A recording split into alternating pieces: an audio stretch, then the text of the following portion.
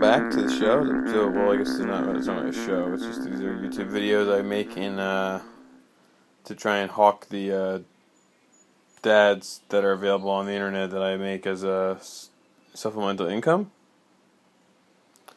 Um, for the last, I guess, I don't know, geez, twenty or so probably.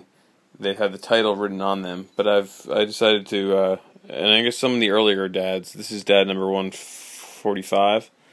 Uh, this one doesn't have the title written on it, but it, it, you know it's pretty obvious. Giant praying mantis eating a businesswoman, and you see he's got the hat with the P on it. I guess that stands for praying mantis, because you know, in my world, insects will wear hats, uh, baseball hats signifying their insect race.